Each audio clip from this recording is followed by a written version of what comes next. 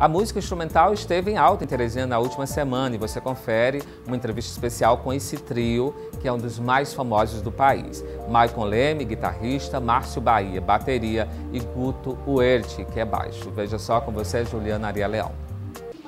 Ele já esteve em Teresina, agora retorna a Teresina participando do primeiro festival de música instrumental. Ele é Michel Leme, paulista, toca mais, desde criança e há mais de 20 anos ele trabalha com música, não é isso, Michel? É isso aí, obrigado por ter-nos aqui. Prazer estar aqui em Teresina fazendo um som. Como foi que deu início essa sua paixão pela música? Como foi que a música entrou na sua vida?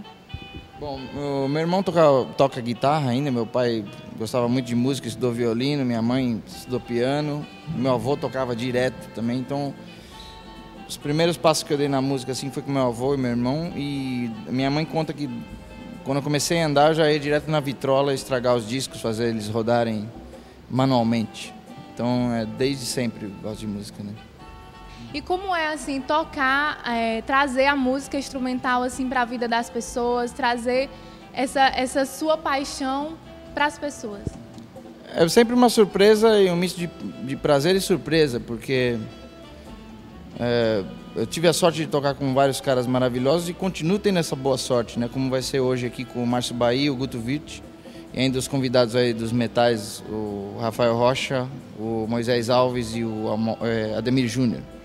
E continuo tendo essa sorte de tocar com caras maravilhosos e proporciona que a música chegue cada vez mais pura nas pessoas, né? Então, mesmo sendo uma música que ela é um pouco abafada pela mídia, ela é uma música que está viva, entende? O pessoal tem que sair de casa para ver e sacar que está rolando algo além do que chega até elas facilmente pela pela grande mídia, né, que chamam, né? Então, é uma música que sempre surpreende a gente e ao público também, que eles vêm contar as reações e a gente vê que não é não é de brincadeira, as, as pessoas realmente sentem algo diferente quando rola o som, né? Seus grandes companheiros, que é o Guto, né, o Márcio, como é que tá essa, essa, essa vinda a Teresina? Como é que tá sentindo no primeiro momento a música instrumental aqui na capital? Fiquei muito gratificado de ver essa atmosfera bonita que está tendo aqui em Teresina, sabe? Da música instrumental. É um movimento super importante, apoiado por vários, vários setores e que só tem a, a, a contribuir para a cultura, né? A cultura musical do nosso país. Eu já tive aqui em Teresina há uns nove anos atrás, no primeiro evento de bateria que teve aqui, na primeira baquetada de Teresina, foi um prazer. E a Orquestra Sinfônica estava começando. Conversei com o Gilson e com o maestro. Agora foi um prazer chegar aqui no concerto de abertura, ver a Orquestra Sinfônica brilhando, fazendo um concerto maravilhoso. Quer dizer, então esse movimento está sendo muito bem, muito bem recebido e é um prazer estar aqui em Teresina pela segunda vez e na primeira vez e muito honrado de fazer parte da primeira edição do Festival de Música Instrumental, que é uma alegria muito grande estar aqui na possibilidade de trocar com, com os alunos daqui, com os músicos daqui, nos cursos dando aula, a troca de experiências entre nós, os professores e os alunos, e também mostrar um pouco do nosso trabalho, do, do, do que a gente faz, do que a gente tem feito ao longo de tantos anos, no palco também, por intermédio de shows, né? Esses festivais eles, eles promovem encontros maravilhosos, como esse aqui com o Guto e com o Michel. Sempre a favor da música. Sempre né? a favor Sempre da a boa música. música. É uma alegria, é ótimo. Eu fico gratificado. E eu fiquei impressionado com a quantidade de, de músicos, de gente. É incrível como tem gente, como tem gente tocando, gente querendo fazer música. E, e tem, tem, existe sim um incentivo aqui, isso que é bacana também. A gente tem um incentivo forte, eu acho, de cima do governo também, com a coisa da cultura, da música, é legal, é muito, é muito, muito bonito de ver. Michel, a gente tem percebido que, como você falou, né, a música instrumental ela tem crescido. É, antigamente eram os cantores, era a voz dos cantores que era direcionado, hoje não. Abaixa um pouco isso e sobe essa, essa questão dos instrumentos, né, da bateria, do contrabaixo, da guitarra. E assim, como é que você vê como questão também de professores, de incentivadores à música, essa questão de você estar tá incentivando as pessoas a tocarem e descobrir os instrumentos? Então, eh, pelo Brasil todo tem muita gente interessada na música instrumental, em improvisar, em criar música na hora e, em, e coletivamente. Eu queria frisar uma coisa que São Paulo tem muito a aprender com Teresina em relação ao que está acontecendo nesse festival, porque não tem isso lá, entende? Ter músicos brasileiros tocando e, e, e podendo fazer oficinas. É, em São Paulo está rolando, por exemplo, em São Paulo está rolando uma coisa diferente. Vem festivais de, que tem músicos americanos e tal, que é super legal, mas não rola um intercâmbio, é só o americano, entendeu? Aqui a gente está tendo a oportunidade de fazer um som para o povo de, de Teresina. É, e é uma coisa fantástica isso aí. É, você fazer as pessoas terem o contato direto com essa música, que é uma coisa que transforma. Então, São Paulo precisa aprender muito com Teresina e outras grandes capitais também, de promover esse tipo de encontro das pessoas com a música. Como a música instrumental toca muito mais do que só a voz. A É, voz. O, o fato de não, não ter palavra, né? Uma música que não tem palavra, você você acaba participando como ouvinte, você participa da história da música nesse momento, na história daquela música que está sendo tocada. Além da música que a gente está fazendo, além dela ser instrumental, ela também é improvisada a maioria das vezes.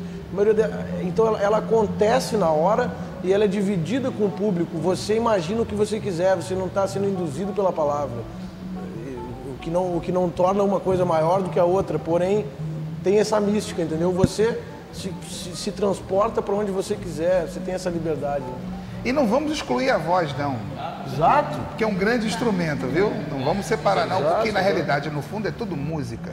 Contanto que seja boa, a voz é um maravilhoso instrumento verdade. de N possibilidades.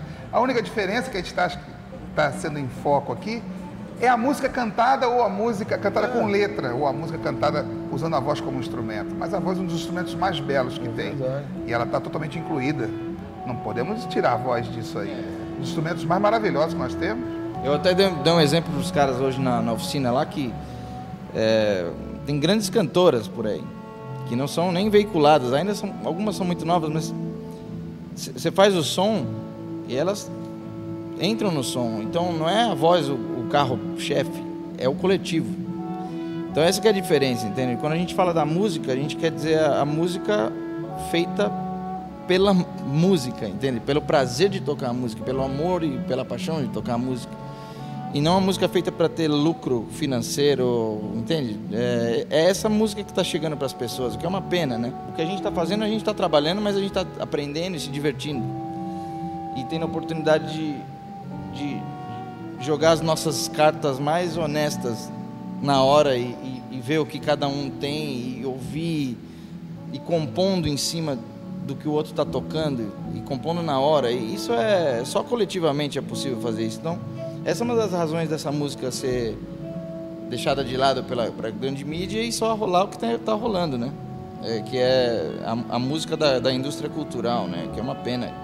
Mas a gente está na luta e, e- e não é uma luta, não é que nem um amigo nosso maravilhoso músico, o Arismar do Espírito Santo fala, não é paixão triste não. É, é a gente faz isso por uma alegria, um prazer. Que a música é uma coisa viva, né? Então a gente queria agradecer, o Inside fica muito feliz de tê-los aqui em Teresina, sejam sempre bem-vindos e voltem sempre, sempre contribuindo para a nossa boa música que se faz aqui. Enorme prazer. Enorme prazer. Estou em casa, estou em Teresina, estou em casa. Tem tantos amigos aqui. E sempre que eu venho aqui é uma alegria. e estou maravilhado com o festival, com o evento. Eu, eu já sou cidadão de Teresina, já me considero também. Muito obrigado. Também estou muito feliz, realmente estou muito feliz de estar aqui. É, uma, eu não sei como é que é o nome dela, a- a- uma moça que, que falou lá no início, na abertura do festival, falou nós somos um povo muito receptivo e realmente estamos provando disso. É um povo muito querido, muito E receptivo, caloroso. caloroso e, e atencioso. Muito prazer, muita alegria estar aqui realmente. Obrigado, obrigado e parabéns pelo programa também, de, de- por veicular essa música que é tão escondida. Então, parabéns pela iniciativa, obrigado por ter-nos aqui e até uma próxima. Nós que agradecemos, sucesso!